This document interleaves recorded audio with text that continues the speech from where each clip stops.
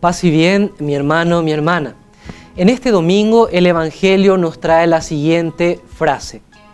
En aquel tiempo, como dijeran algunos acerca del templo, que estaba adornado de bellas piedras y ofrendas votivas, Jesús dijo, Esto que veis, llegarán días en que no quedará piedra sobre piedra que no sean destruidas.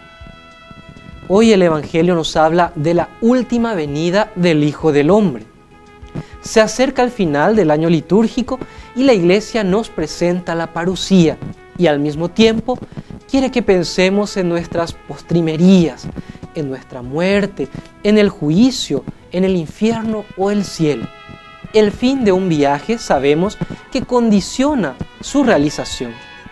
Si queremos ir quizá al infierno y ojalá este no sea nuestro deseo, nos podemos comportar de una manera determinada de acuerdo con el término de nuestro viaje. Pero si escogemos el cielo, hemos de ser coherentes con la gloria que queremos conquistar, siempre libremente. Al infierno no va nadie por la fuerza, ni al cielo tampoco. Sabemos que Dios es justo y da a cada uno lo que se ha ganado, ni más ni menos no castiga ni premia arbitrariamente, movido por simpatías o antipatías. Dios respeta nuestra libertad. Sin embargo, hay que tener presente que al salir de este mundo, la libertad ya no podrá escoger. El árbol permanecerá tendido por el lado en que haya caído. Morir en pecado mortal sin estar arrepentidos ni acoger el amor misericordioso de Dios significa permanecer separados de Él para siempre por nuestra propia elección. ¿Te imaginas la grandiosidad del espectáculo, mi hermano, mi hermana?